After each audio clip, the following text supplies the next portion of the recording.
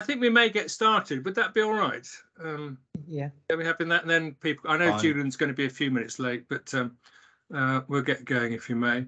Um, so welcome. I've got a, a few words under the welcome. Um, uh, first of all, to thank Susanna Rose for her contribution to the trust. I don't know whether Sa- Suzanne's actually on the on the call, but it would be her last uh, uh, meeting.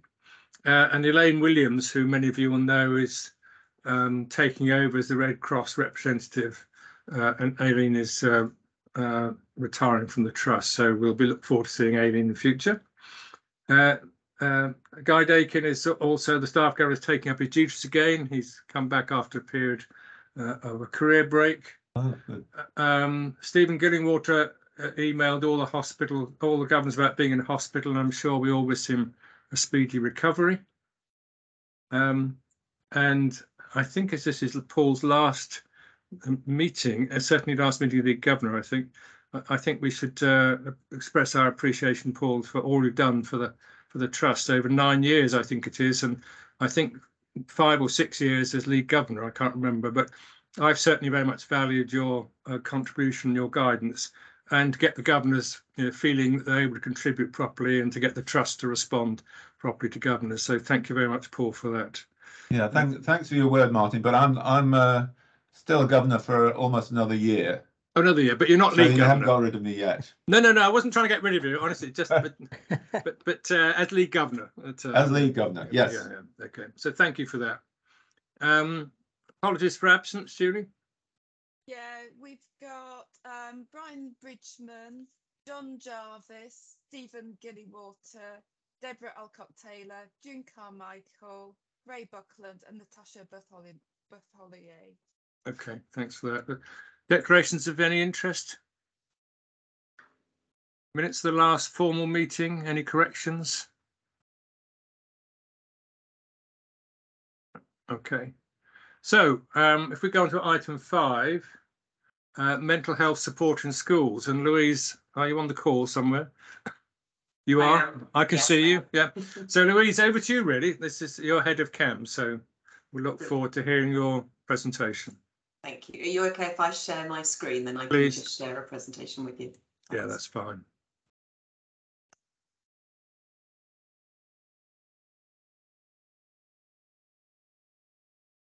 Check that you can all see that now.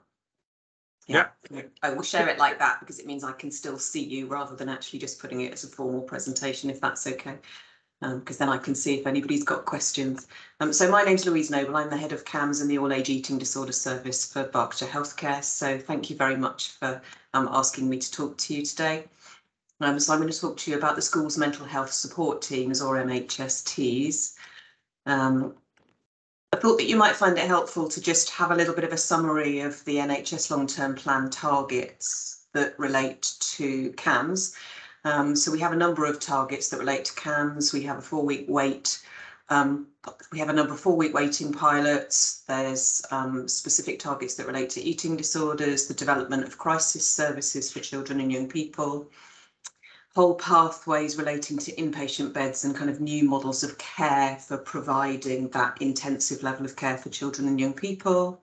Um, targets around extending digital therapies, um, access, increasing the numbers of children and young people who are able to access NHS evidence-based mental health services, and then some wider commitments that relate to the Youth Justice Service, um, reducing waiting times for children with learning disabilities and autism, um, and children with complex difficulties and complex trauma. Um, and Berkshire Healthcare CAMHS are involved in all of those with the exception of the four-week wait pilots. We did put forward some proposals around that, but weren't successful. Oxford Health were, um, and so we've been quite closely involved with them in terms of the learning that's coming out of those pilots. Um, so if I just focus on the MHSTs today, so um, what is a mental health support team? Well, it, they're NHS funded teams, um, including a new workforce who provide interventions um, and support a whole school approach for young people with mild to moderate mental health difficulties within schools. Um, and they work as part of an integrated approach to mental health care. So there are a number of kind of key principles that apply to all of the MHSTs. They have to cover a population of approximately 8,000 children and young people, um, which in most areas relates to around 16 schools, obviously varies a little bit. Um, there's an expectation that they will deliver around 500 interventions per year. Interventions, not just individual treatment, but kind of teaching and, and various different types of support.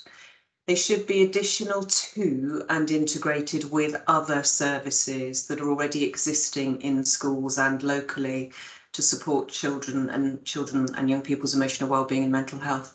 And that's really important. They're not meant to replace things that are already existing that may be being cut or moved in order to kind of redivert resources.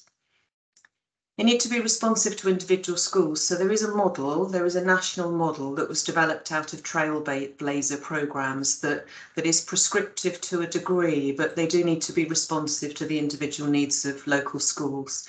Um, and it's well recognised that there isn't one size fits all. Um, although they are a school-based service, they should be supporting the children and young people who are who are part of that school community, and that means that they should be operating all year, not just term time only. And they should co-produce their approach and their service offer with service users. So that includes young people, parents, carers, um, staff working within the schools um, and other local colleagues. Um, the NHS long-term plan target is at the moment that between 20 and 25% of schools across the country should have an MHST by 2023. Um, and these, these are nationally funded through NHS England. In Berkshire East, we have four teams. So we have two in Slough, one in Bracknell and one in RBWM. In Berkshire West, we have five, two in Reading, two in West Berkshire and one in Wokingham. Um, and that gives you the sort of approximate coverage across the, the Berkshire East and Berkshire West areas. So we're actually doing pretty well here. Um, of course, the problem is that we still have then a percentage of schools that don't have access to an MHST. Um, and we are working to try and find ways of supporting those children and those schools, but, but the national funding hasn't flowed yet to allow us to have any more teams than those.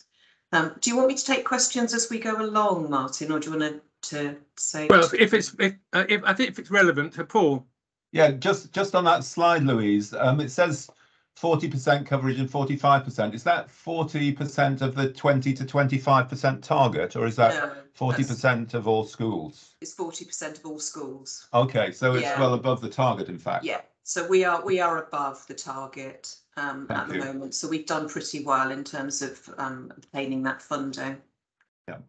Um, and we've got, we have different models in Berkshire East and Berkshire West, um, which is about the way that the CCGs have chosen to commission these services. So for Berkshire East, we are the providers of the MHST teams.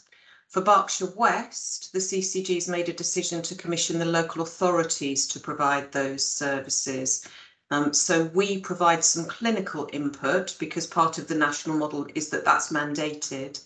Um, but Berkshire West were a trailblazer for this programme and so they chose to commission differently.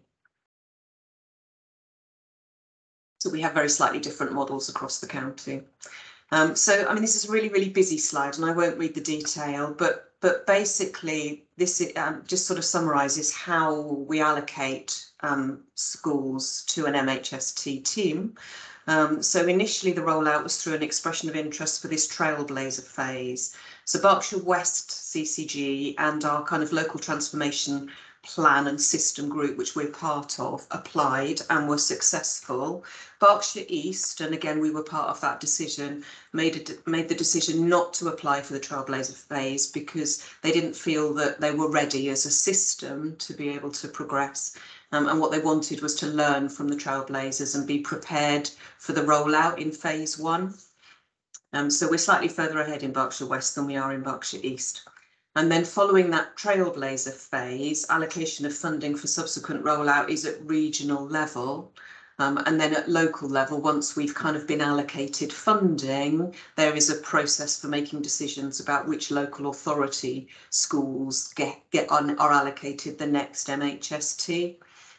Um, and that's based on um, a number of factors that are, are, are that are um, indicative of need um, and prioritisation. And so that's part of the reason why, for example, we have two teams in Slough and only one in RBWM and Bracknell because our indicators of need in Slough are higher. So that was a higher priority area for us to get started with.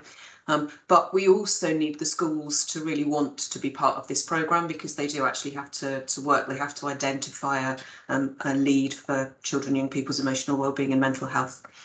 Um, and certainly in the early phases, um, it, it, took a little bit of kind of work to get schools on board with this programme. Um, obviously, they're now starting to see the benefits of it, so it's not quite so much of an issue. They're really small teams, given that they are covering a, a cohort of 8,000 children who could be across a range of different ages because this covers all schools um, all, uh, so from kind of you know infant schools all the way up to actually um, the early college years. Um, so each team has four education mental health practitioners. That's a new role. Um, that's the training for that that role has been commissioned through NHSE and Health Education England, um, and they commission the training per MHST. So we've only really got enough um, EMHPs trained nationally to meet the needs of the number of MHSTs that have been commissioned. Um, then we have cl some clinical supervision, some senior clinical time, a team lead and some administrative support. Um, in Berkshire East, because we lead those services, those the team leads and the, the clinicians are all CAMHS trained and qualified staff. In Berkshire West, we have educational psychologists as the team leads, and then we provide some of the clinical input. And we involve the, the educational psychologists in the development of the team and the management and running of the team in Berkshire East. So again, very slightly different models. In CAMHS, we work to something called the Thrive model. Um, so rather than talking about the way that care is delivered on the basis of kind of universal um, uh, universal targeted specialist and highly specialist services, which is the sort of usual health pyramid. Um, in in children and young people's emotional well-being and mental health, we talk about things in terms of thriving. Um, so we have sort of five five areas of thriving. Um, we have the kind of getting advice quadrant, the getting help quadrant, getting more help, getting risk support, all of which contribute to a young person thriving.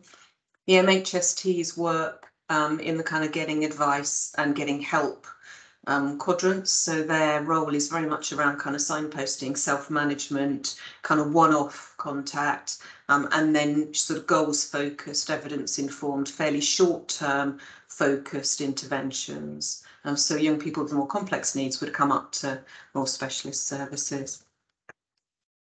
Um, so this just gives you a summary of the types of presentations that they work with. Um, so they will work with young people with low mood um, and depression, panic, generalized anxiety disorders, some kind of fairly straightforward phobias, stress, behavioral difficulties, school avoidance. Um, they can work with some more kind of complex disorders, things like um, where, where there is some self-harm going on, um, and some kind of compulsive behaviours and kind of anger difficulties, but they don't work with things like trauma, bipolar psychosis, personality disorders, eating disorders, the more kind of chronic difficulties, because they need more specialist and longer term interventions. I can see that there's a question, Brian. Uh, yes, just a quick one on the uh, uh, should not do. To what extent do you have to do something to hold the fort before the young person moves on to that more specialist uh, service provision?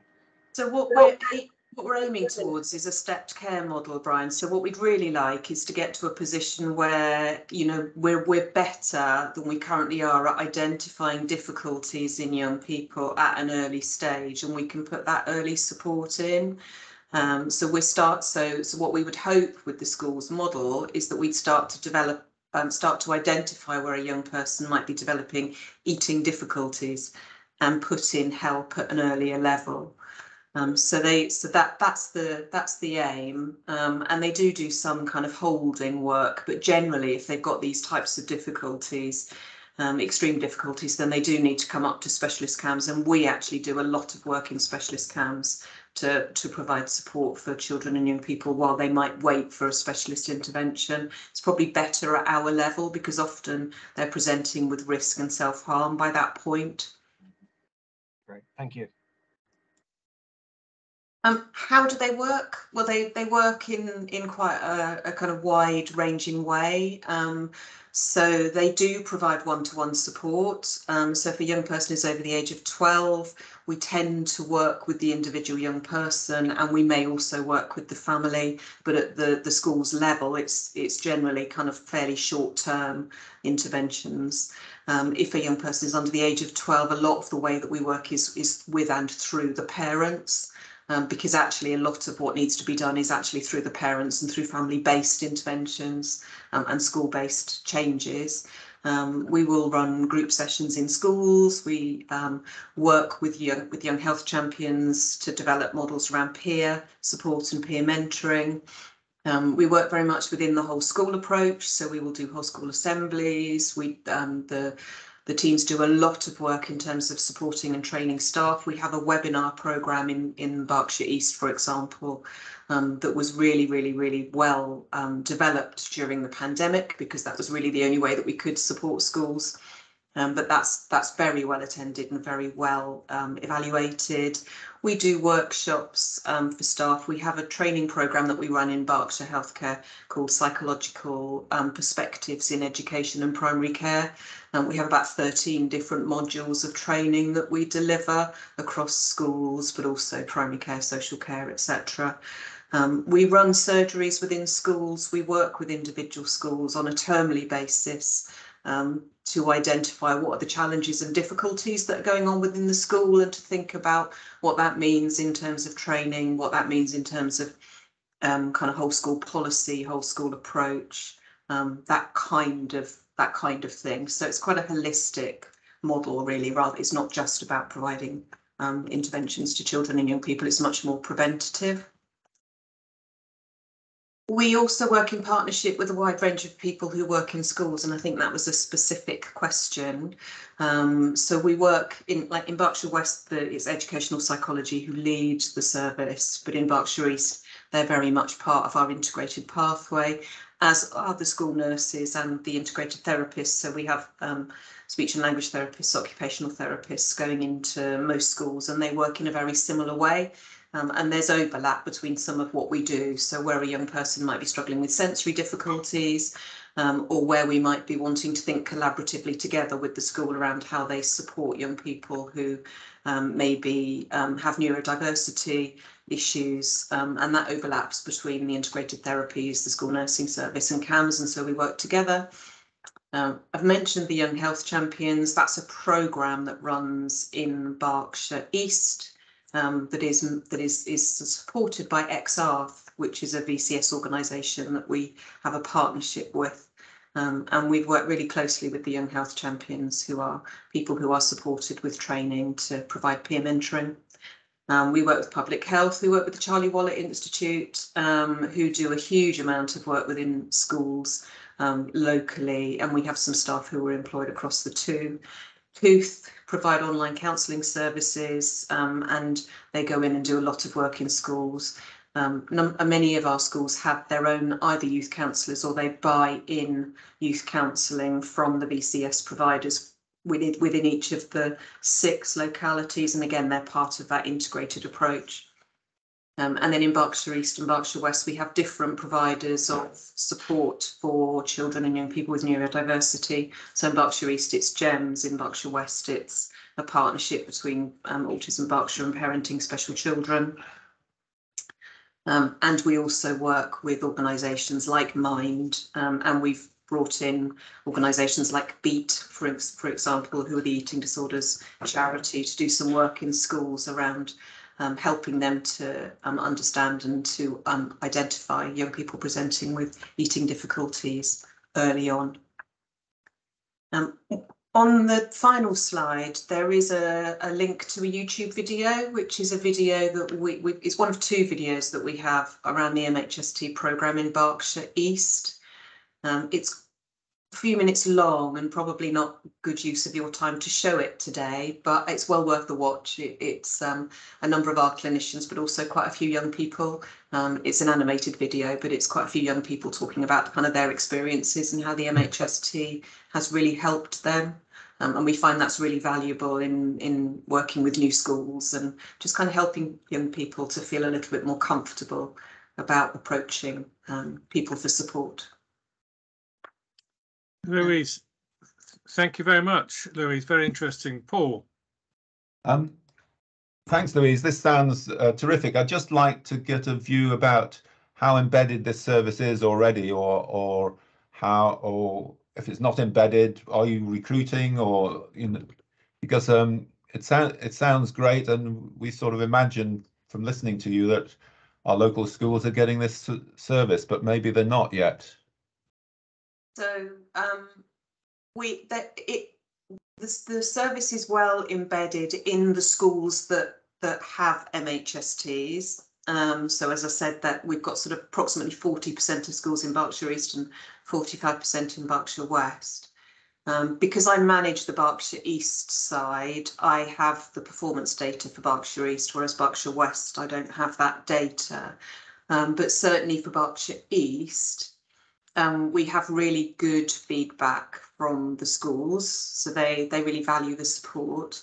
Um, we have lots of recruitment challenges, Paul, um, and CAMHS is a is an area where there are there are recruitment challenges across the board. Um, in East Berkshire, we're obviously close to London. You know, we we you, you probably fully understand all of the the, the kind of locality based challenges that that affect us from a recruitment perspective. With the education mental health practitioners, particularly, it's a relatively new workforce. There aren't very many of them.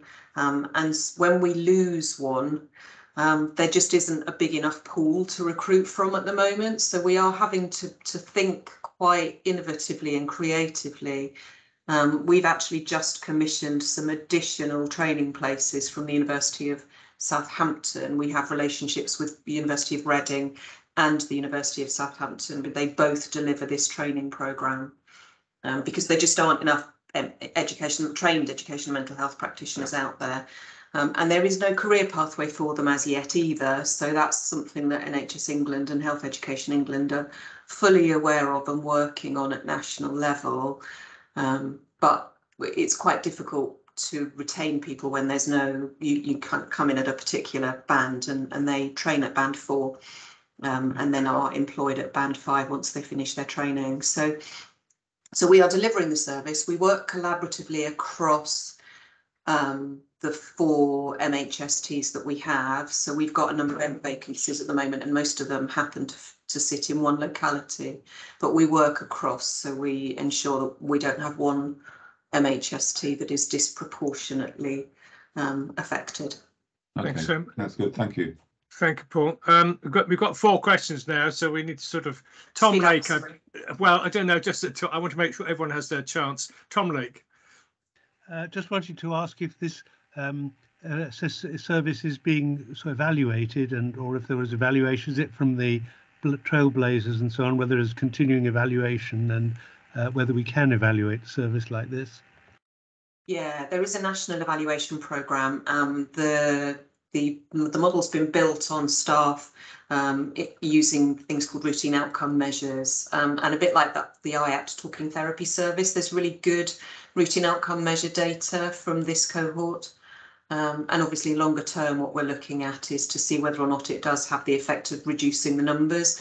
The, the pandemic's obviously put a bit of a big spanner in the works on that, um, but but there is a an evaluation process in place. thank you. Ros, Thanks, Louise. Um, it's interesting to hear about the two different models in the west and the east of Berkshire.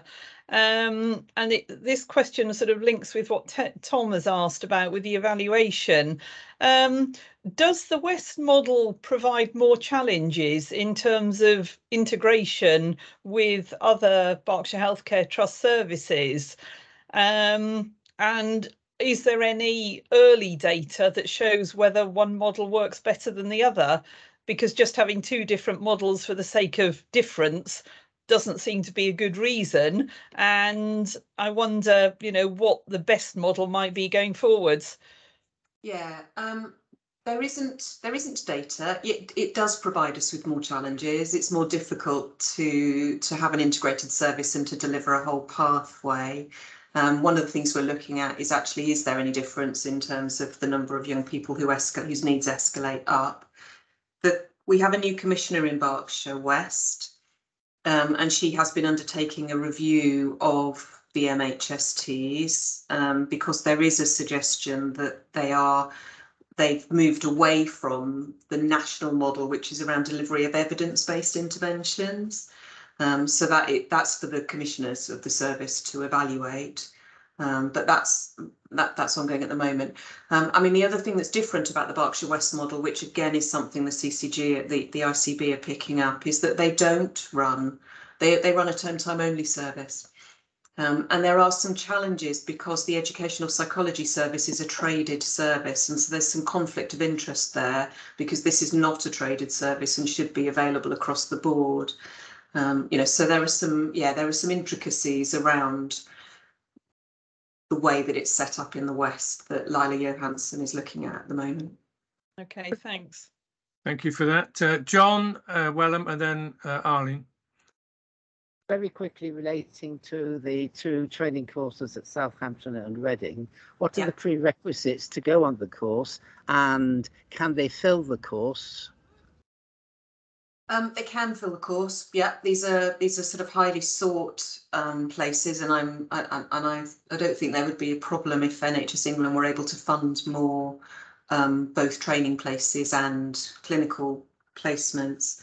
Um, I, I don't have the prerequisite information to hand. They are they are um, kind of degree level courses, so you have there are academic expectations um, and also um, kind of um, values-based expectations really. So you don't have to have clinical training. They tend to be, we tend to have a lot of people that are coming through the route of having been TAs in schools or having been working in, in voluntary sector counselling services or having things like psychology degrees um, and not necessarily thinking they want to go down an, a clinical psychology route, but, but kind of more interested in working in a school setting. Thank you.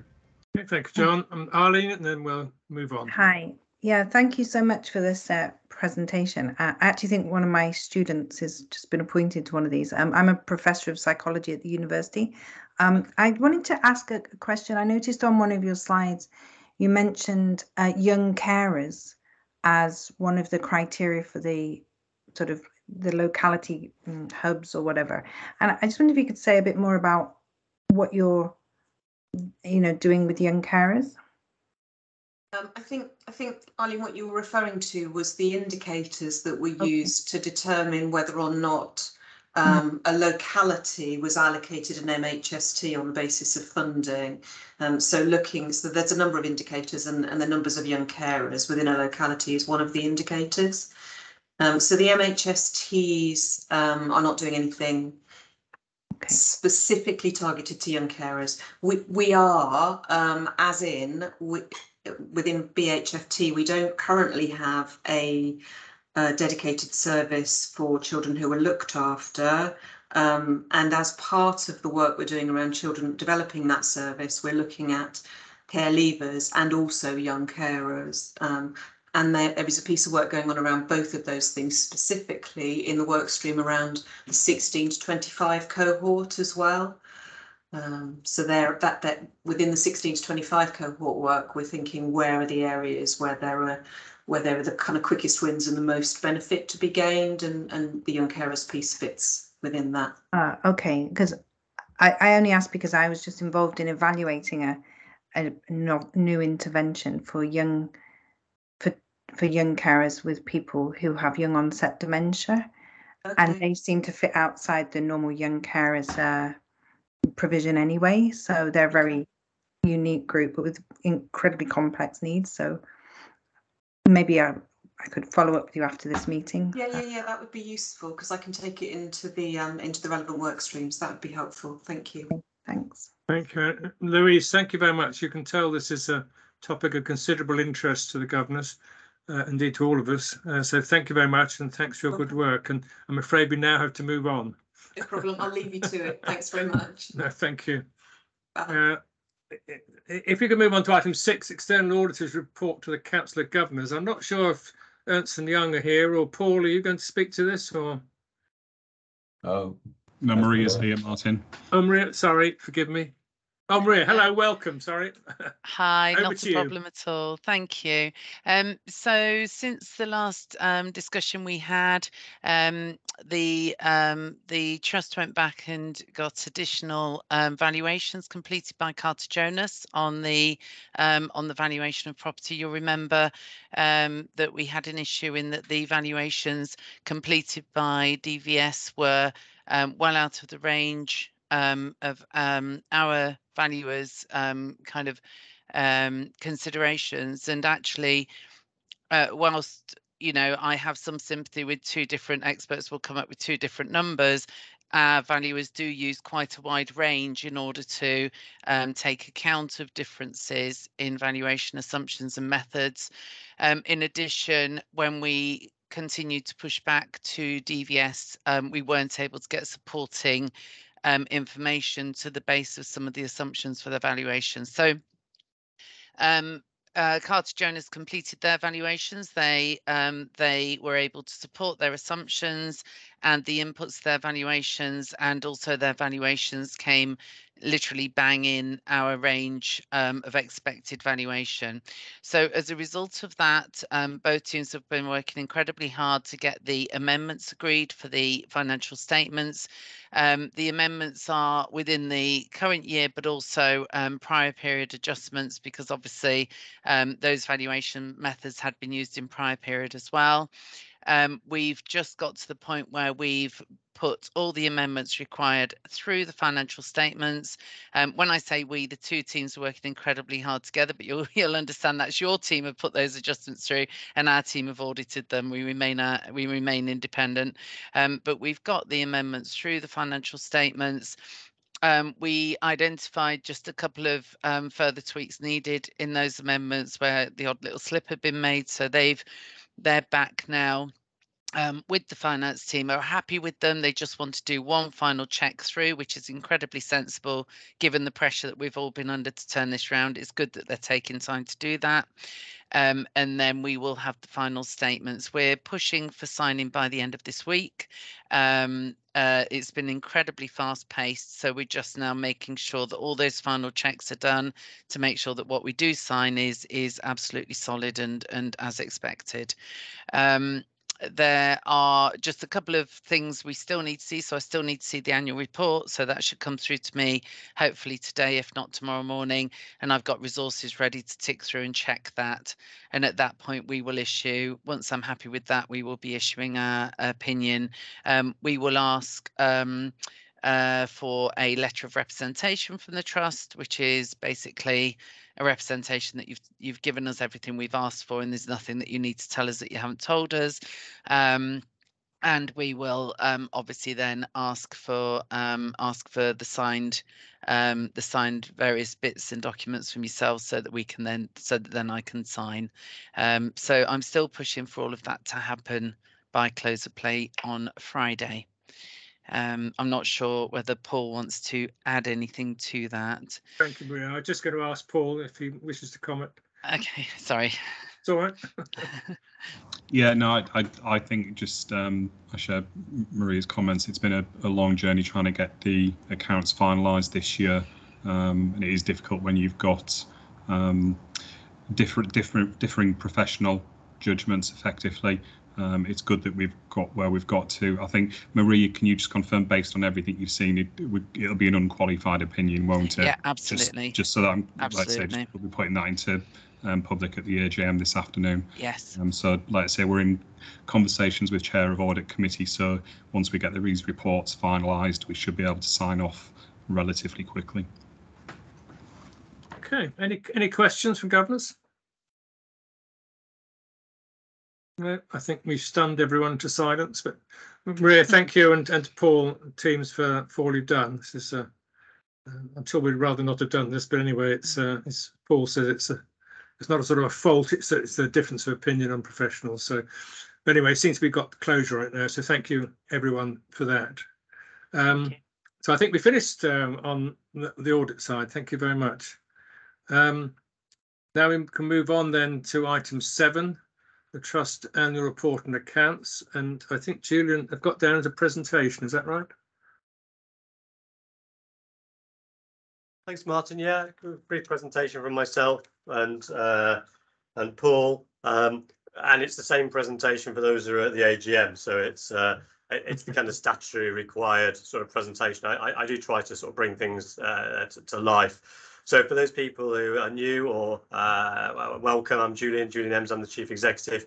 And what I'm going to do is give you a flavour of the uh, the last financial year. So it's a look back, which is a requirement at the AGM and as part of our presentation of our tr trust annual report. Um, it is inevitably a very truncated version and I've missed a lot of things out. If you really want to know what the trust did last year, then the annual report is, is, is, is very, very detailed. And the other source of information, probably the best source of information I often go to is our quality accounts, again, for the previous year. There's, there's so much material there. This is a superficial, high level sort of look and giving you a flavour of things over the last year. So if Linda, we can have the, the, the, the presentation sort of put up. I think I've got about eight or so slides and I'll, I'll tick through it reasonably uh, quickly, Martin. Thank you. Um, we, have got uh, 10 minutes, I think. Okay, um, next slide, please. Uh, that's Paul's by the looks of it, is it? There we go.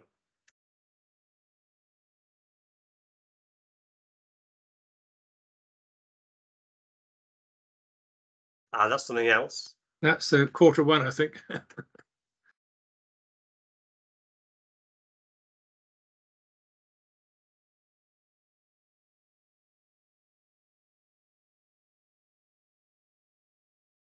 Doesn't look like you've got it, does it?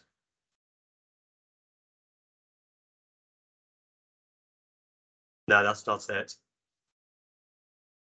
Never mind. I'm, I'm in the interest of time.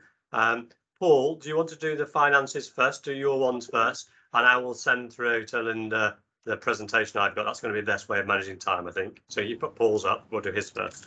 Yeah, I'm happy to do that.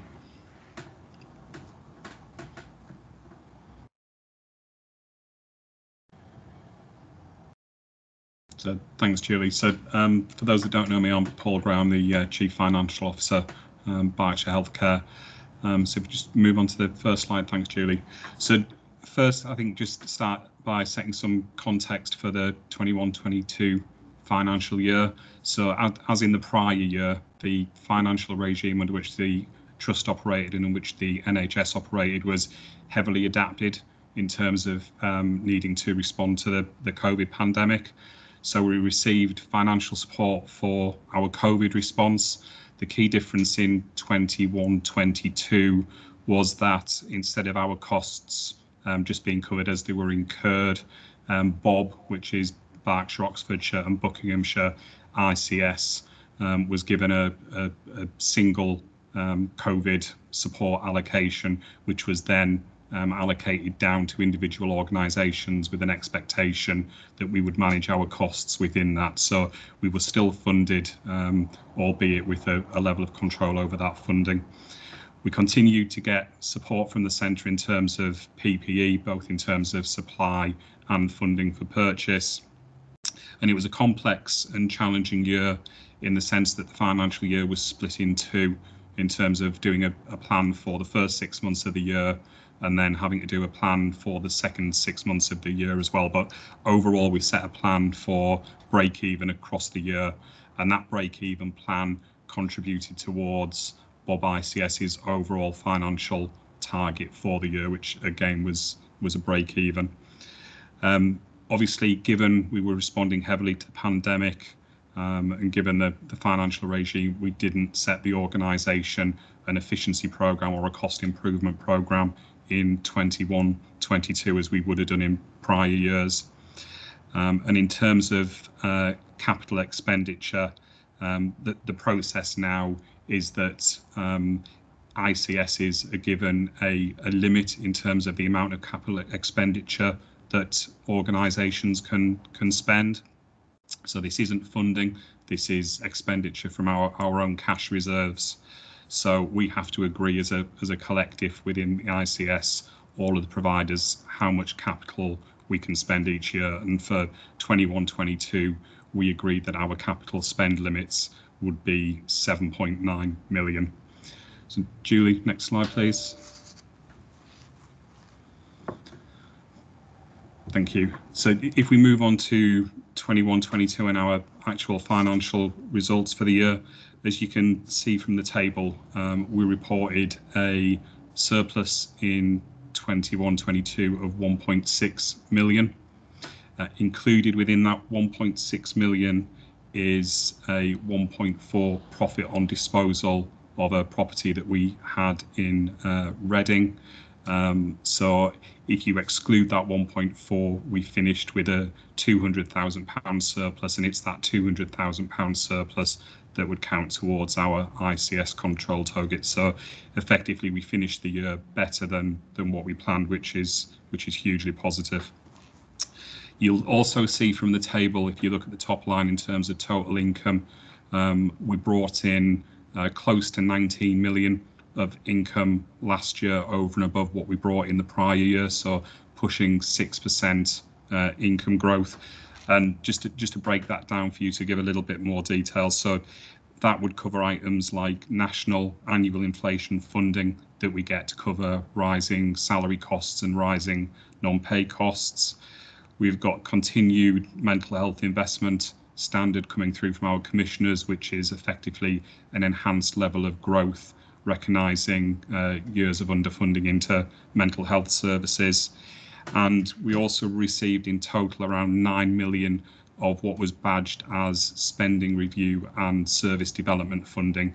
And these, these were allocations from our commissioners targeted very much on community and mental health services, including a number of schemes, um, including uh, Aging Well, which is uh, our enhanced community um, response and service.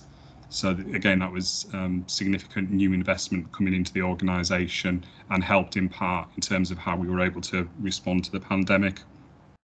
We also had additional income in respect of uh, specific services, so certainly um, ASD and ADHD, dental and in services also received quite significant levels of new investment over the course of the year. Um, and as you'll see, that 6% increase in our income position was offset by a 6% increase in our expenditure position, with the majority of the costs rising in line with the investments that um, that we enacted during during the year.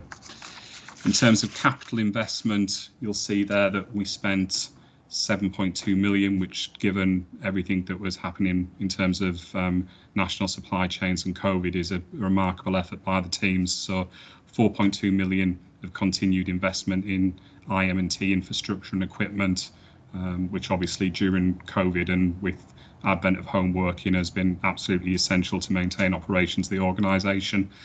And we spent 3 million improving and developing our estate um, most notably of which was 800,000 into Phoenix House in Wokingham, which is where we where we look after some of our um, um, young children. So uh, if you take financial performance into account, some movements in our, our working capital position and some investment income that we received that we've deferred with a plan to spend in the next financial year, that effectively accumulated in our cash position increasing by 15 million. So we finished the year with a very healthy cash reserve of uh, 53.9 million.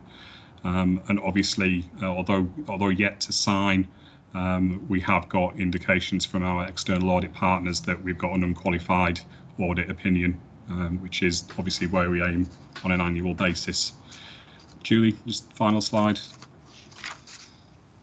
So just looking forward into 22, 23, um, as we move out of COVID from a from a planning perspective, it, we're moving very much towards kind of business as usual and where we were in terms of how we operated um, pre-pandemic in terms of financial regimes. We're still receiving um, an element of support for COVID costs and some COVID funding, although this has been reduced by probably close to 50%. And we're still at this point receiving, like I said, continued support in terms of PPE costs and such like. Um, we go into the year facing much greater inflationary pressures than we've seen previously. Um, and although uh, the centre has provided some additional funding to ease that, um, obviously with utilities, etc., uh, we're still we're still looking to bear higher inflation costs than what we would have expected normally. Um, and if you take take all of that into account, we've set a plan for 22-23 of a 900,000 pound deficit. Um, embedded within that, as you would expect, is a return to efficiency programs and cost improvements. And we've set the organisation a 3% efficiency target for this year, which is which is close to, to 10 million. In terms of capital investment, um, we've agreed a 11 million pound allocation from the system, and that's going to be focused on some key investments, including um, reprovision of our HQ in Bracknell, um, some new clinical accommodation in Newbury, and replacement of some um, clinical accommodation um, in Windsor, as well as a new place of safety facility at Prospect Park in Reading. So some quite meaty investments across the estate over this coming year. Uh, taking I&E performance, capital expenditure into account, we're expecting our cash position to drop by about 7 million over the course of the year. Um, but I think even even with that, that will still leave us with a pretty strong position in terms of our cash reserves. So happy to take any questions. Any quick questions for Paul? No. Thank you very much, Paul. Good, uh, good, solid. Oh, Tom. Uh, thank you. Um, just to just to ask about the general level of capital. If I go to the RBH AGM, I expect to see a capital expenditure of somewhere about 40 millions or something. Now it's an acute hospital and uh, you know, trust. I know it's very different, but I wonder um, is the approach to capital um, really the right thing? I mean, have we got the right the right balance really, or are, is it just is there a sort of prejudice, or sort of perhaps conventional thinking that mental health trusts and community trusts don't need that much capital? So I think it's a, it's a really good question. I mean, from the outset, my start point would be that the capital allocations that are provided nationally are probably wholly insufficient for um, for the level of ambition of the organisations. I mean, for 22-23, um, excluding targeted allocations, Bob as a whole has about 100 million pounds worth of capital to spread across, um, you know, Oxford University Hospitals, Oxford Health, us, Bucks, um, RBH. So even just taking into account some of the critical conditions in terms of infrastructure and buildings, that's not a lot to spread across those organisations. I think I, I, would expect that acutes would always have a higher proportion of the capital expenditure, simply as you said, they they have significantly bigger owned estate, which they're responsible for, as well as uh, much higher levels of, of equipment and you know big levels of kit, including scanners and things like that.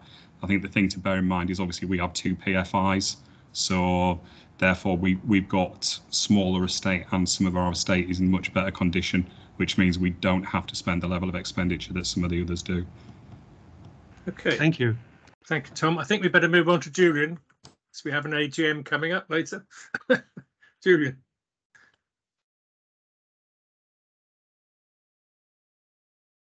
And have you got my presentation there to put up? I sent it through.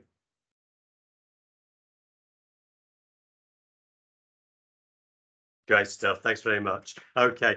The uh, the first slide, please, is just a reminder for those people. It's really for people coming to the AGM. Uh, pretty much every year I get asked questions about the Royal Berkshire or Frimley Park, Heatherwood. So the first slide is just to remind people because it is complicated who we are and, and what we do.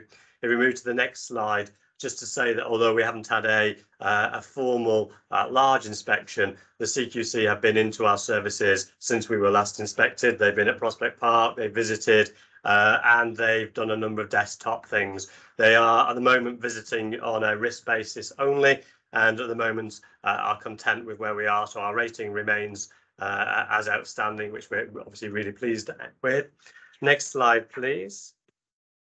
So uh, Paul referenced a couple of things. We did uh, in the annual report itself, it talks about a whole list of pages and pages of service developments. I've just picked out two here. We established the Phoenix unit, which is a child and adolescent mental health day service, uh, as well as an outreach service for some of the um, uh, uh, riskiest, poorest ch children with uh, mental health conditions. As a consequence of opening that, we've significantly been able to reduce the number of young children who need admission to a hospital bed. It's been very successful, and as a model, it's getting picked up nationally and probably going to be rolled out a bit more. Uh, and the, uh, the, the, the, the, it's involved both establishing the team, but also, as Paul mentioned, doing some work uh, within the building itself. And we also opened the new Campion unit, which is our assessment and treatment unit for people with learning disability. So a bespoke unit. It probably doesn't do it quite justice, the pictures there, but it is a much better unit than we previously had. And it was no mean feat getting all the specialist materials. It's been much more difficult with inflationary costs and also Brexit. Actually getting the stuff together and uh, opening it was a was a really uh, pleasing time for us. Next slide, please. Um, one of the things that you'll have heard the uh, Secretary of State talk about is her priorities ABC uh, and the, the B is backlog. We have seen some really big increases in demand combined in some instances with real significant workforce shortages. So over the last year, we've developed very long waits in services that sometimes already had long waits. So children's neurodiversity, ASD, ADHD, our community speech and language therapy and podiatry to name but uh, a few. Some of those are like neurodiversity are a combination of huge increase in referrals and uh, some workforce shortages which have been attended to actually because we've had investment. Others are around uh, workforce shortages or indeed perhaps um, uh, service models that need changing. Um, so there is this pent up demand. Some of the services were closed uh, or, or, only had limited opening during the kind of lockdown phase. So obviously built up a, a backlog as well and um, one in 10 NHS posts is now currently vacant. Uh, but if we open our eyes a bit more widely, there's a million more people who are economically inactive than there were uh, pre-pandemic, and that's mainly older people who've chosen to, to withdraw from work altogether. And we employ many people, and so the, the, the, the workforce challenges are probably our biggest existential challenge that we faced last year and future years. Despite that, if you look at the next slide, there are um, half a dozen services um, that have a national requirement in terms of waiting times, and we hit all of those. So I'm not going to talk through those for the uh, interest of time today, although I will at the AGM. But all national targets we've hit. In some cases, just it's been quite hard. Uh, in some cases, you'll see that in terms of the audiology diagnostics in the last quarter's report and the later report today. But so far, so good. I think uh, in terms of uh, th thinking about patients still, the next slide looks at patient experience. And uh, last year, we launched our I Want Great Care patient experience measure. I'm not going to say too much about it to this uh, group because we've actually got the patient experience report, Martin. So I'm going to pass over that because we'll cover quite a lot of its content uh, when Liz talks to that report, if that's okay. But I would say that was a very significant development for us. The next slide um, is that despite all of those pressures, uh, we came top in the staff survey in terms of staff engagement. You know, uh, motivation, satisfaction, recommending as a place to work, which we're really delighted at. Uh, and some of the very best top scores. And of course, there's always room for improvement, but our engagement score, you know, compares with the very best in other industries too. So we should be rightly proud that we've managed to maintain that level of staff satisfaction against one of the most challenging backdrops that we've ever operated in. However, um, we have got some challenges, uh, as the next slide alludes to. So colleagues who with a declared disability or from a black, Asian, minority ethnic background do not feel as positive about the trust. And that has been a major focus of work for us. Uh, and, uh, you know, we've we've done uh, a number of things such as overhauling our recruitment processes or our disciplinary processes to make sure they're just and fair. Uh, and that appears to be making a difference, although progress is slow. But we have done some really good things. Uh, we had excellent Pride Month. Uh, the trust was fantastically represented at Reading Pride uh, uh, recently and in the previous years. We've got a new uh, network as well, our Courage Network, which are for our veterans, and we've been awarded the Gold Award by the Ministry of Defence as a, a, recognition of our veterans friendly policies and approaches. So some really good stuff as well in the in the context of some challenges around some elements of our workforce. Next slide, please. Uh, we also established comprehensively our wellbeing services. Uh, it's a range of support. It's got a helpline, but it ranges right through to one-to-one -one specialist support with psychologists or team support with a group of psychologists. And the important thing about this is that this wellbeing offer is offered to all local authorities in Berkshire. So we offer it out not just to ourselves, but all local authorities and the acute trust too. And we support uh, uh, uh, the wider community when there are some big significant incidents. For example, we did that with the Forbury Gardens attack. We did that with the fire in Reading. Um, where a number of people were tragically killed. So our wellbeing service is not just Berkshire Healthcare, it's actually part of the wider community has been hugely successful and provides evidence-based psychological support.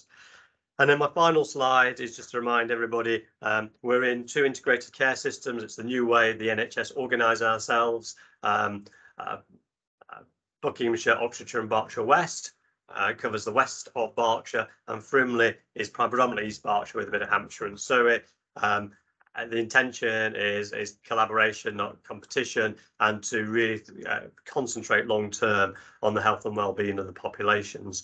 And in relation to that system working, in the last year we've established virtual wards for physical health care uh, instead of actually having more hospital beds, which have been very successful, and rapid community response teams, which go into people's homes, effectively doing a lot of the work that perhaps GPs would have done many years ago in terms of home visits very quickly and preventing admission to A&E. We've been doing a lot of work, which I lead across the ICSs on reducing agency spend by aligning organisations in terms of what they're paying and who they're using. And uh, probably the best example is our shared care record called Connected Care, uh, where we can see, uh, and we certainly share most information in terms of our clinical record to primary care, social care, and our acute partners. It's also used as a platform to target particular elements of the population so we can target things where we think there's high incidence of diabetes, for example. So there's some of the examples that you can do in terms of integrated care. It is still quite early days, and uh, I, uh, my aspiration, I know Martin's, is that over the coming years we can perhaps show some more larger, newer examples of the benefits of uh, working together. But as I say, a committed, a committed member of those two partnerships. Whistle stop tour, Martin. Um, you know, as I say, you can't really do justice to the whole year, but at least it gives a flavour. Julian, thank you. Well, at the AGM, there probably a bit, bit more time, but it's been, I think, a very sound, a very an excellent year in spite of all the challenges. Uh, uh, and some of these things to do with systems working.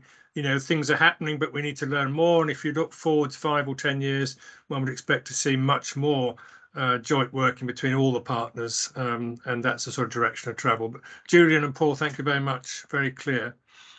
Um, if we could move on to item eight, which is committee and steering groups. Um, we've only got a few minutes for this. I don't know whether we just want to take questions or whether the chairs of each one just want to say something quick? How would you like to do it? Tom, let's ask well, you just, first. Yes, just say that um, we've been in discussions with uh, Paul Myers-Coe and Martin about the Living Life to the Full group. This was a group that um, uh, John Barrett really uh, gave a lot of effort, a lot of energy to, and was very it was a very interesting group. But there wasn't any succession planning, and now we're trying to uh, uh, reformulate a little bit to take part of the to take into account the fact that there are new partnerships because the focus we're trying to get is on the patient's journey, the pathway. Part of it might be in the trust, but part of it might be elsewhere. So working with the perhaps charitable organisations or local authority um, outside the trust for, for patients and working with other, uh, to, uh, perhaps a bit of a look, uh, a bit more than council can give uh, at some of the partnership working where the patient moves between uh, organizations. So that's what we're trying to do. Uh, if we, I, I, won't be in the a governor for long, but we've got a chance to get it going. And I hope um, I found this that committee particularly useful and learned a great deal. Um, I hope others will want to get in. We've got a great speaker on the 12th of October uh, talking about the um, uh, the I think the Bracknell uh, Recovery College. So recovery colleges are a big example of uh, an important organisation that uh, uh, patients go on, come, move through, and so that that's really important. And then we'll perhaps discuss where we want to go. We have some time to discuss where to go. So we're meeting on the 12th of October, and I hope you'll join me in shaping this new group and uh, really understanding how patients move from the trust and how they how they then move with other other organisations and how that all works and well, how the trust can do that as well as possible. Thank you very much. Thank you, Tom. Look forward to uh, governors taking an interest in that. I think um, any other of the chairs wish to speak? I, Brian? Um, yes, just a quick comment. I think uh, an increasing theme of uh, of the work of uh, membership and public engagement uh, needs to be address the uh, timed out departure of highly experienced governors. We don't just face a reducing number of governors potentially, but also a loss of experience and talent.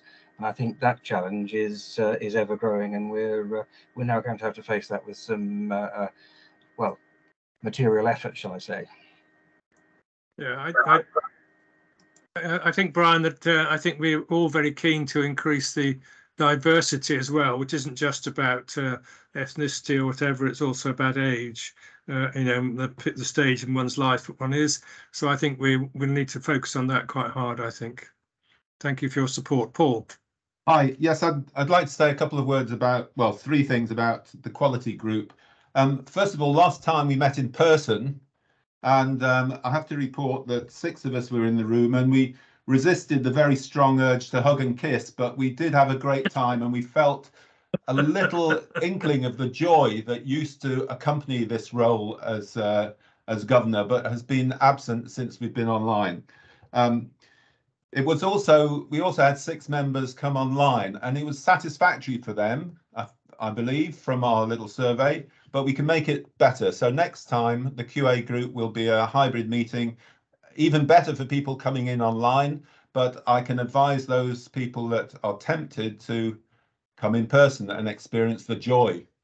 Um, second, read the report if you don't know about the QAG. It's got everything you need to know about the group. Um, the third thing I want to say is about service visits. Um, governors, of course, should attend council meetings, and there are probably 35 or more meetings arranged for governors who are really diligent. But probably after council meetings, the most important thing a governor can do is visit a service in person and actually see our wonderful staff and feel the joy coming from those staff that they get from their jobs. And also talk to patients.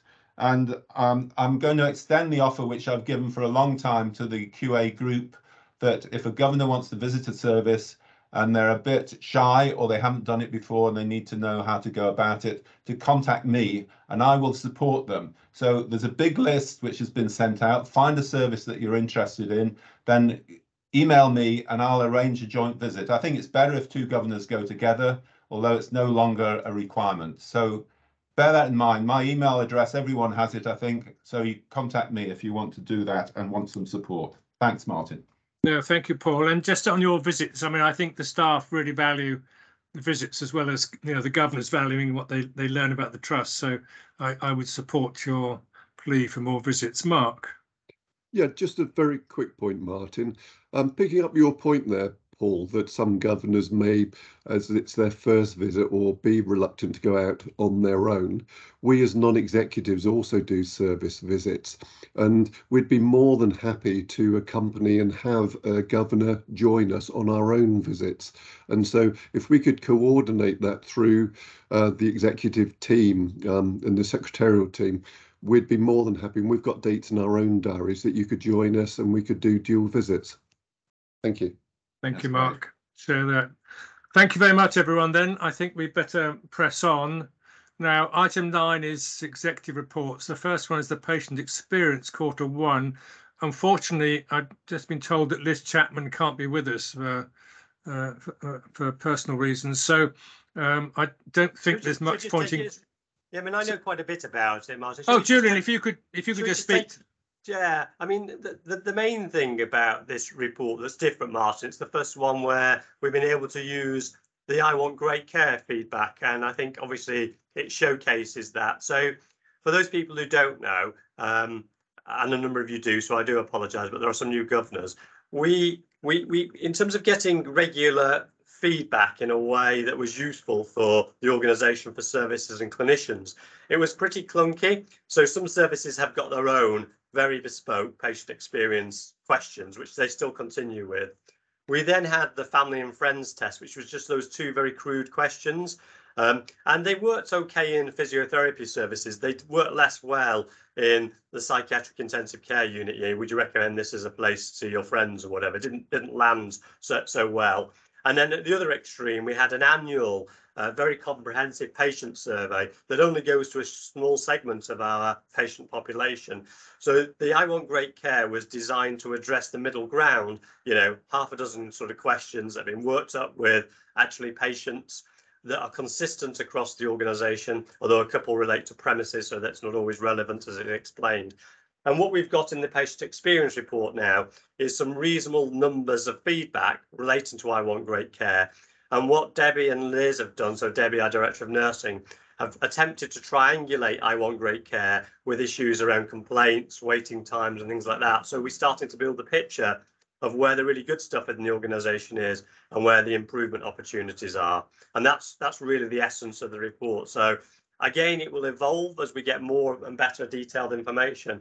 But I do think it, it it's less reliant on just the complaints as the previous one was, and it's starting to give a bit richer data. It would be my take on it, Martin. Okay. Um, thank you for that. I, I- think um, we've seen this at the board, and uh, I think our feelings this is going to give us a much better view of of the realities of life, uh, of the experience of patients, and feeding, as Julian says, feeding to this continuous improvement cycle. Uh, the friends and family test was pretty um, pretty thin on real information, I think, on which you could act. So thanks for that. Are there any questions? I know it's a bit difficult with Liz not being here. Any questions for Julian on this item? No? Okay, well, we'll be seeing more of it and you'll, you'll get used to it and hopefully um, you'll find that really helpful. Now, I've got on the agenda, Julian, performance report, but I don't seem to have it in my pack. Am I the only one that's not got it? I've got it. Oh, okay. Um, I had to pass over to to you then. Don't seem to have it in my pack for some reason. Okay, now we're just going to whip through this, are we? Yeah. Okay. Um, so uh, is it is this just the narrative bit of the report, uh, Linda? Can you just flick through because I'll I'll just take questions on this because people will have, will have seen this bit. I, I think normally we just take questions on this. Yes. Okay. That's that's what we. So the question.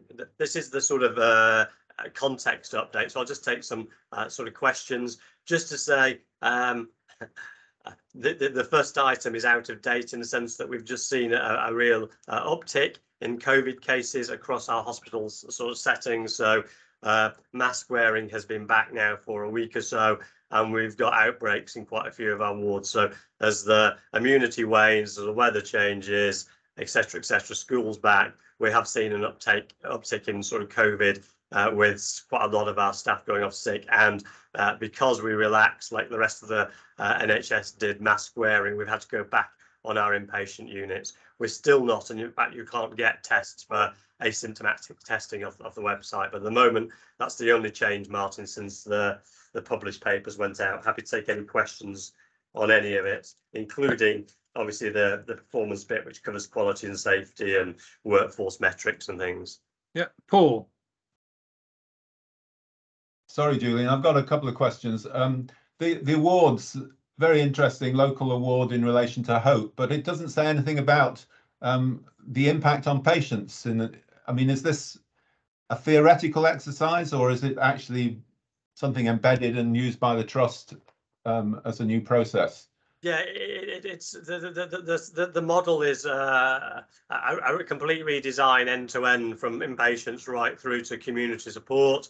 Um, so it's a collaboration with Oxford Health and uh, colleagues in Gloucester. So it allows us to do things we wouldn't ever be able to do. So no, it's it's it's a new model. Um, it's too early to say if it's changed the world, Paul, but it's certainly made a difference uh, both in terms of accessing services, sharing services amongst trusts.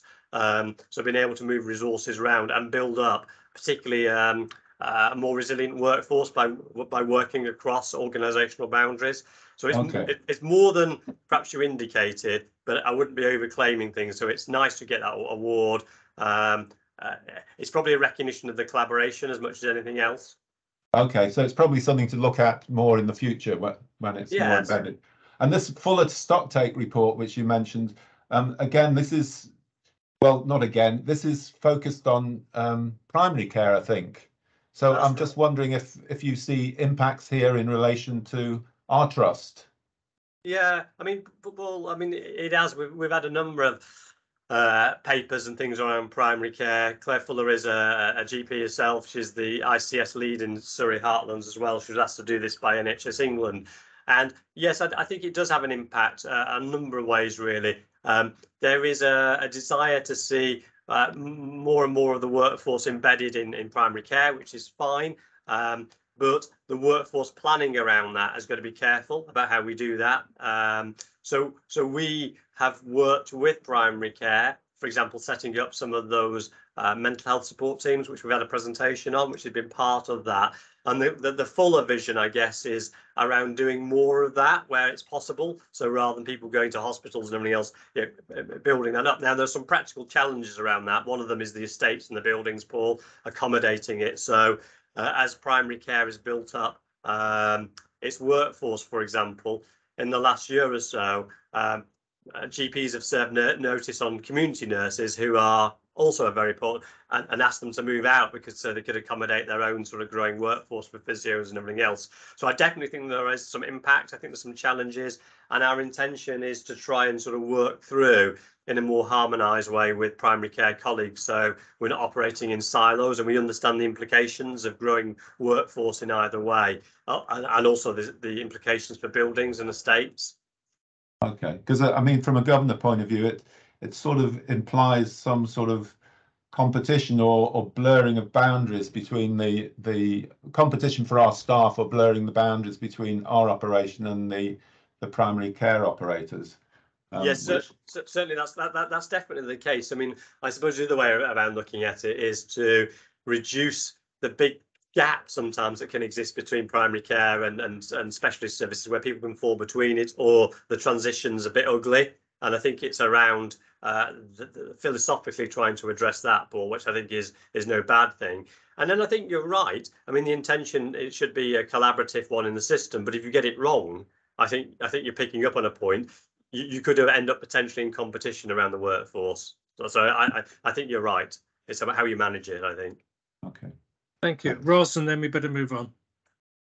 Thanks. Um, given that you've already mentioned, Julian, that one of the most significant challenges for the trust is workforce, I noted in the workforce metrics that the target for recruitment is 55 days, but it's still actually taking 97 days to get people in place.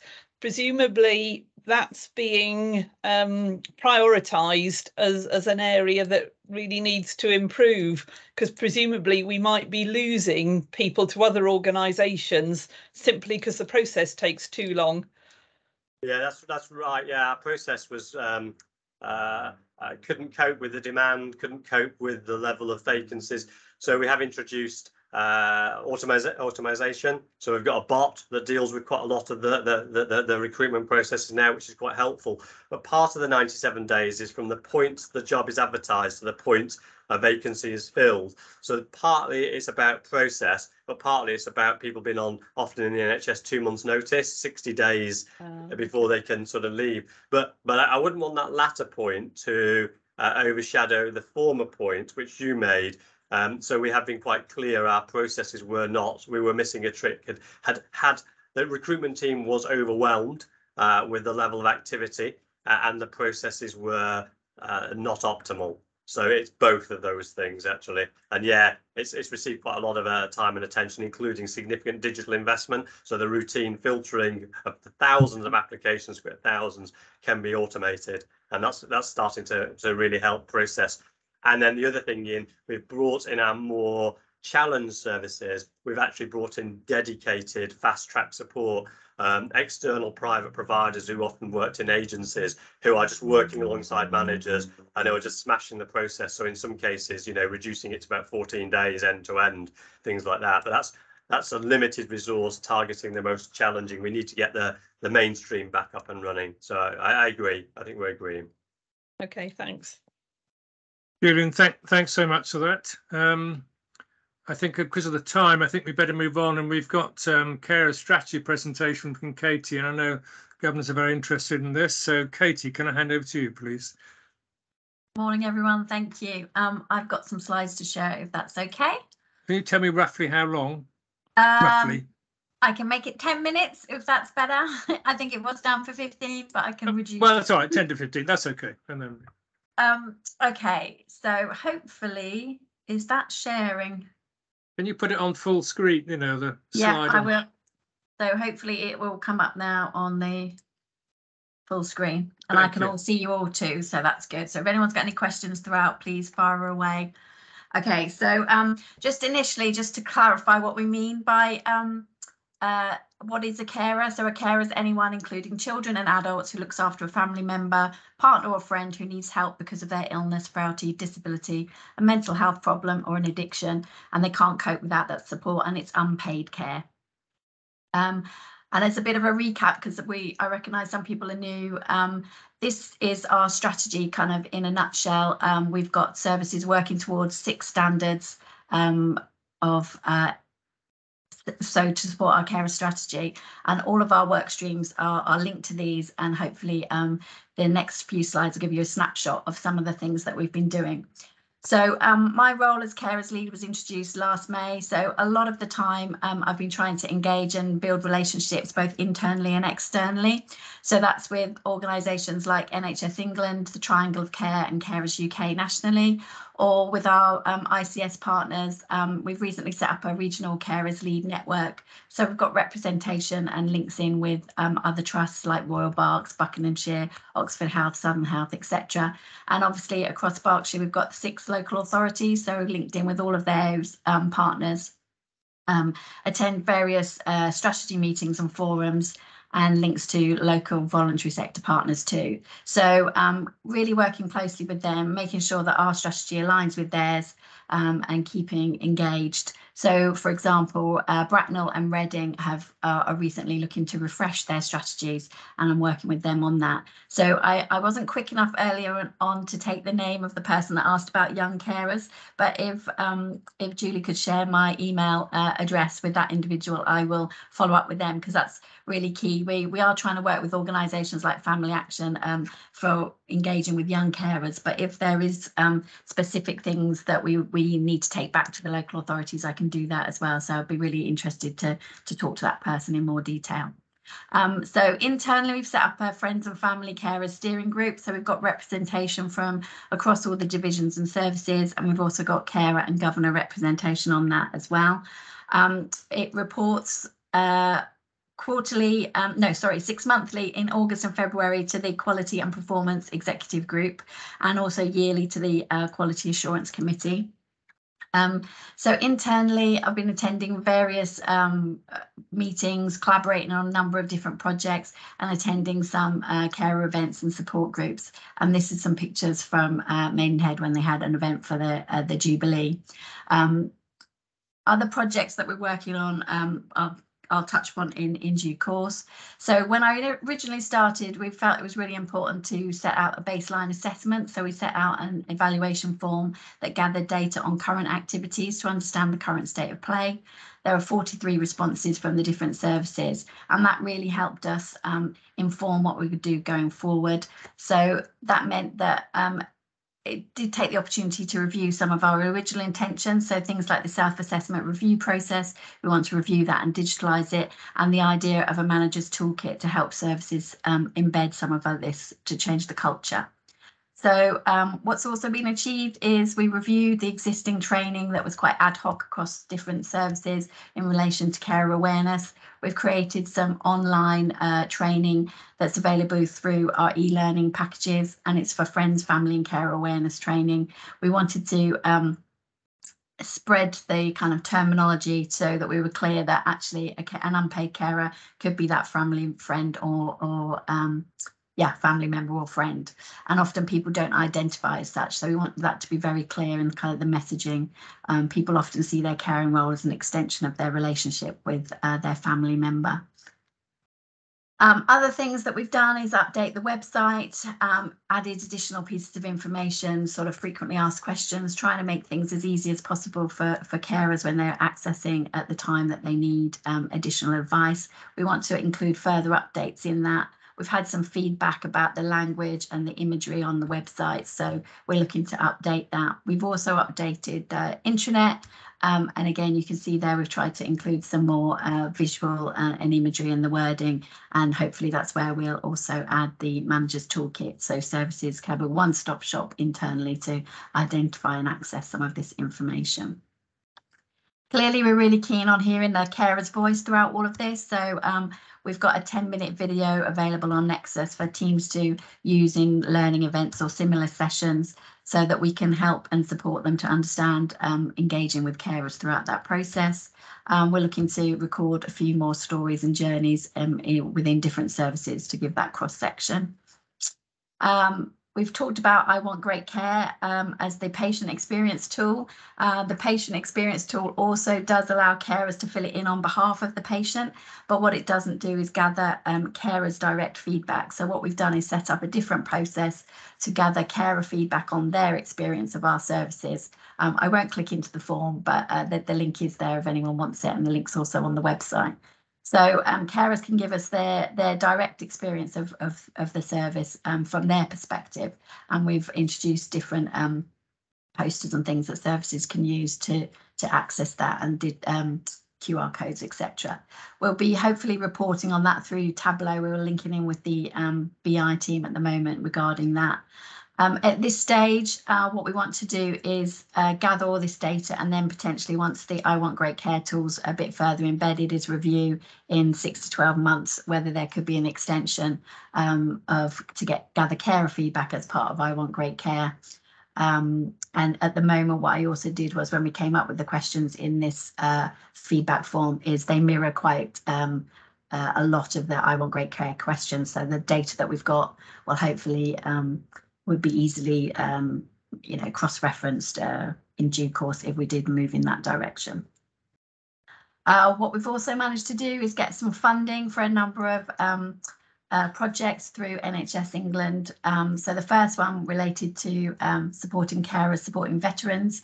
So we undertook a piece of research um, with qualitative and quantitative data from our carers because we really wanted to hear their experiences.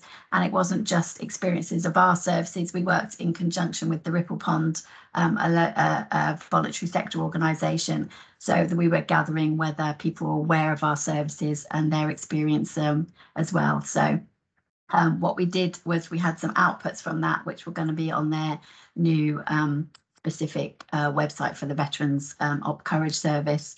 Um, and also there's a psychoeducation uh, video that we've created to support carers to understand some of their carers' behaviour. Um, sorry, some of their loved ones' behaviour. Um, and again, with the discharge to assess, we um, completed a similar exercise with uh, families and carers. Uh, the feedback was that there is or appears to be a direct, pretty much a direct correlation between their view of the communication and engagement they've had and the quality of care that, that that's received. So we've um, got some outputs from that project as well. One of which is um, going to be a video um, explaining the services so that they're setting that expectation at the outset. Um, when someone was talking about the joy earlier of the staff, I've got there's four members of staff in that video, and it really comes across um, how how caring and the, the, the professional service that they deliver. So well, I think we're going to be really proud of that in due course um, once it's finalised. Um, as part of the Mind the Gap project, we did take part in the um, NHSE um, evaluation, which Liverpool's Moores University conducted. And they commented that actually they were really impressed with our durable outputs and the impact that the project is having on the wider ongoing aims of the Trust to emphasise the needs of families and carers. And that actually we were trying to measure what mattered most to carers and hear from our carers. So we were proud of that. And actually we put in another bid for what they call embedding money. And we've been successful in that. So we'll have an ongoing project um, with the uh, veterans team We've also completed the um, re-accreditation process for um, the Triangle of Care.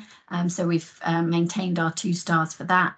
Um, ongoing engagement is is carrying on and Carers UK are actually looking at that accreditation process. So it's likely to change in uh, 2023. Um, we've also talked about um, the Purple Network was mentioned a little bit earlier. Um, in May, I became the deputy chair of the Purple Network, which is for our staff with a long-term condition, disability, and um, those with caring responsibilities. So, as part of the uh, Purple Network, we've set up a uh, working carers uh, network for our staff who are carers, because we also know that statistically they're more likely to be your more mature members of staff who's got that service with long-term service with you. So we need to think about ways that we can support and engage with them. Um, we have got a Teams channel up and running that we're sharing information and asking questions. We're also looking to work with the Wellbeing Matters team. Um, they're going to be putting on some sessions specifically for um, working carers. So that will be our staff and it's also going to be staff across the ICS. And I've worked with them on a questionnaire that's going to be going out to um, to staff in the next week or two to get their feedback on what they'd want to see in those sessions to help their well-being um, with their caring responsibilities um, and various other um, uh, feedback into things like the flexible working policy, etc. as well. Um, what's in development? So the longer term projects, looking at recording uh, on Rio, things to do with carers and the feedback and the relationships. Um, so what we're looking at at the moment is developing some standard works in line with our uh, quality improvement initiatives to outline exactly what we do from a best practice point of view, using the existing functionality of our uh, RIO, which I should explain is our electronic patient record system, and then looking to see where there might be gaps within that and what improvements might be made to at the moment, there's a lot of different ways across the trust that all the services record this information to see if we can have some commonality amongst themes and some um, guidance on, on best practice and updating things in due course um, as part of that. Uh, confidentiality from the feedback that we've had um, is uh, always an uh, or potentially an issue. Um, so what we're doing is looking at different ways to um, promote and make staff feel confident that they can have conversations with uh, carers and their families if they're unable to share information, but making sure that carers don't feel that that's just shutting down of a conversation, that you're able to um, share more generic information and, and have that conversation uh, with them. So that's a working, uh, there's various materials in development for that. Also looking at potentially some sort of bike hut size education pieces that could be shared with teams. Um, various other additional resources. As I say, what we want to do is work towards this toolkit so that um, services have things that they can adapt or adopt for their own needs within each area. Um, back in uh, June, we also held a couple of carers events because we want to co-produce a Friends, Family and Carers Charter um, so we had a virtual event with about 25 attendees and we had a face-to-face event with 30 plus. Um, so we got the carer feedback. We have um, reviewed and analysed that. Oops, gone too quickly with my clicks there. Um, created a draft, uh, a charter that's um, in the process of being circulated to the people that participated for some additional feedback. And the idea will be that we um, uh, promote and finalise that and launch it in line with Carers Rights Day in November. Uh, so really what's next is, as I mentioned, this toolkit for services and managers, make sure that we support services to meet the six standards set out in the strategy, enable the services to complete the self-assessment process in a more digitalised and uh, easier format, and then develop and on that, once we've got it more digitalised, it will make the reporting more easy for the future. Um, uh, so hopefully this time next year, I'll be able to give a bit more um, quantitative data rather than more of a qualitative uh, feedback approach and uh, continue to work with HR colleagues and the Purple Network to support our staff with caring responsibilities and continue to work on various other bespoke projects and promoting that um, engagement and communication with friends, family, and carers, so that ultimately we're improving our patient and carers' experiences. So that was a bit of a whistle stop tour. Um, any questions? Katie, that's fantastic. Really, really impressive questions. Paul.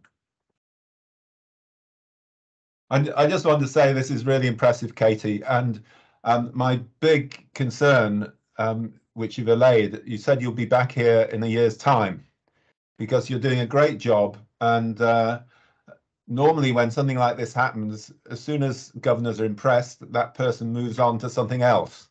And um, and of course, we want to see we want to see some concrete results from this. And I guess my question to you is do you feel you're getting full cooperation from the trust wide and from HR in relation to um, uh, engaging staff and, and and educating staff about uh, the need for supportive carers? Uh, yes, yes, no, I do. I, I, I threw that bit in there because I did remember you asking me last year about whether everybody was uh, was engaged. So I, I, I hoped I was preempting your question. Um, okay. No, I, I'm I'm thoroughly enjoying it. Um, it's from my point of view as an individual, it's really interesting to um, work with the different teams and understand and see all the great work across the I've worked for the trust for a number of years before but um, you you you do end up only seeing that bit that you're working with whereas I've got the luxury now of being able to engage and speak to lots of different teams and work with lots of great people. So no I'm really lucky. I'm really enjoying it. And as long as they'll have me Paul I will be here next year. Good. Thank you. I'm sure we will Katie Um, well, thanks so much. Uh, as Paul said, a great presentation, and, and several of us, I'm sure, are carers uh, uh, on the call anyway, and appreciate the you know the effort that's going into this. So thank you very much indeed. Thank you. Time is against us, I'm afraid, Katie, but thank you. Um, could we move on to uh, item 11, appointment of lead and deputy lead governors? We had a, a tightly fought campaign. Um, and uh, I'm pleased to announce that Brian Wilson will be the lead governor and John Wellham will be the deputy lead governor, taking over from Paul. So, so congratulations to you both. Look forward to working with you.